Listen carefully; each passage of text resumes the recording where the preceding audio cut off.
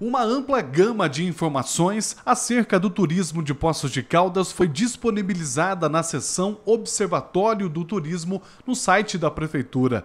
A publicação torna acessível diversos estudos realizados pela própria Secretaria de Turismo e que são fundamentais para a pesquisa e formação de base de dados importante para futuros investidores. Essa é uma demanda que basicamente todos os grandes destinos turísticos já têm. A Secretaria de Turismo ela já faz esse trabalho é, há vários anos, né, com a coleta de dados, essas informações, essa compilação de informações da demanda, né, dos atrativos turísticos da cidade. Então, hoje nós temos a servidora Gabriela Martins, a turismóloga, que ela foca muito nesse setor justamente para que esses dados possam nortear né, não somente o município, mas o setor também empresarial.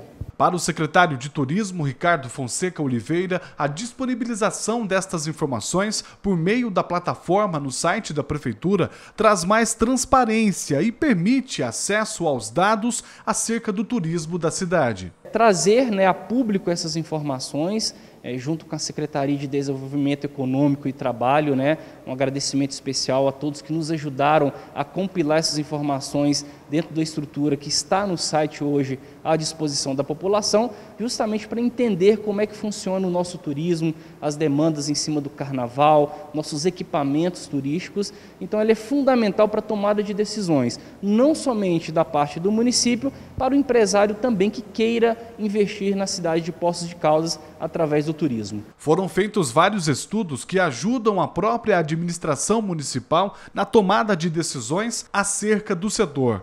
É muito importante, a gente sabe principalmente de onde que vem o nosso público, a nossa demanda, né? Hoje nós sabemos que originalmente por volta de 70 a 80% vem do estado de São Paulo. Aí a gente consegue abrir para quais, quais cidades estão vindo e a gente consegue direcionar, por exemplo, uma, uma propaganda da cidade, né, chamando para N eventos que tenham na, no município do ano inteiro. Então isso é muito importante para a gente destinar, para a gente ofertar a nossa demanda turística. Segundo o secretário, é necessário avançar mais com a transparência de dados acerca da capacidade hoteleira no município. Estamos nesse caminho, terei uma reunião aí com o Sindicato de Hotéis, que é o principal, a, uma das principais ferramentas para que a gente tenha esses dados, principalmente de quantos turistas visitam a cidade. É fundamental, espero contar com a colaboração aí da, do setor hoteleiro, para que a gente possa melhorar cada vez mais é, esse diagnóstico dentro do município. Entra no site da Prefeitura, turismo, barra Observatório do Turismo,